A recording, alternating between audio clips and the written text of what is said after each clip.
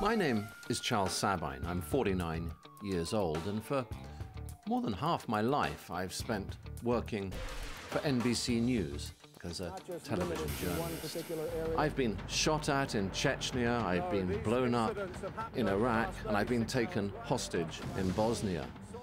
But nothing has instilled more fear, dread, and terror in me than the personal battle that I now face Huntington's disease the disease that took my father and is now inflicting on my brother the same decline in his prime will take me too. Charles joins us today here as well as our good friend and colleague, Dr. Freda Lewis Hall, the Chief Medical Officer of Pfizer. Thank you both so much for being here. And Charles was referring to Huntington's disease. That's a genetic disorder that affects about one in every 10,000 people. Sadly, it has no cure and causes the progressive breakdown of nerve cells in the brain. It strikes most people in the prime of their lives and is ultimately fatal, which makes it such a, a difficult diagnosis. Now, Huntington's is a disease that destroys the part of the brain that controls movement. And so people who have the disease develop writhing, jerky movements that are involuntary. And as the disease progresses, it may affect the ability for people to think and may also affect personality and behavior. And then ultimately, as you know, um, people with Huntington's lose the ability to walk, to speak, um, and to swallow. Charles, what has your experience been with, with HD?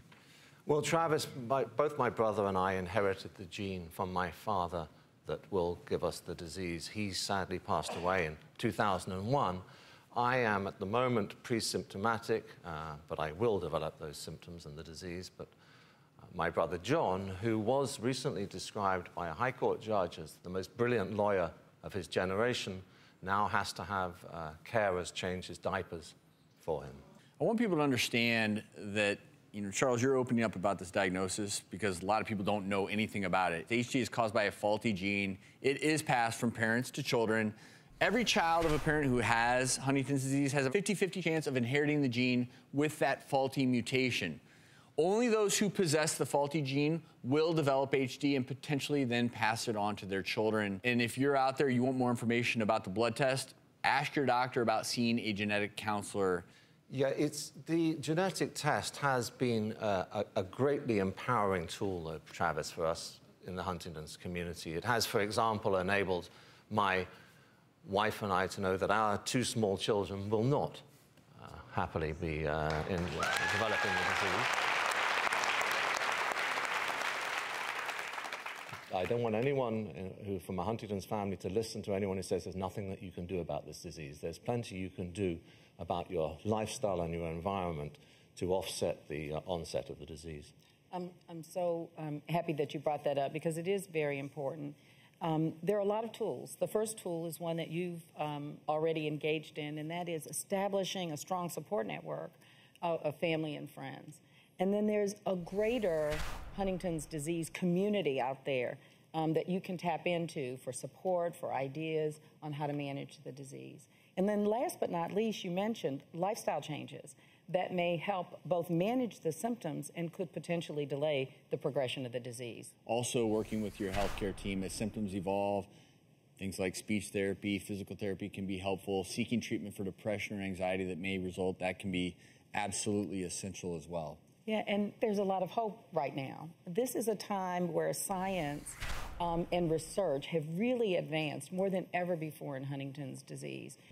And I should probably also take the opportunity to personally thank you. I mean, you have done so much uh, to share your story, to give people hope, to actively advance um, research. And I really want to thank you for all of that. Well, well you know, thank, thank you.